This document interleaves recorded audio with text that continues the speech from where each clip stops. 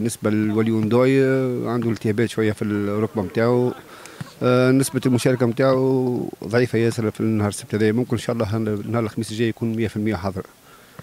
آه، ما عدا خوينا كل آه، إصابات قديمة. ما عندناش الحمد لله اصابات جديدة. بالنسبة للشبان حتى يتم إصابات خفيفة وكلهم إن شاء الله على الميدان اليوم الكل يكونوا في الجروب إن شاء الله. على مرزوقي جاهز ما عندنا حتى مشكلة من الأسبوع اللي فات هو جاهز وتوا جاهز 100% إن شاء الله. نسيم هنيدي يكون في ال groupe 100% الأسبوع المقبل إن شاء الله. محمود آه، ينجم يكون في ال groupe الجمعه الجايه ولا يمكن بعد شوية؟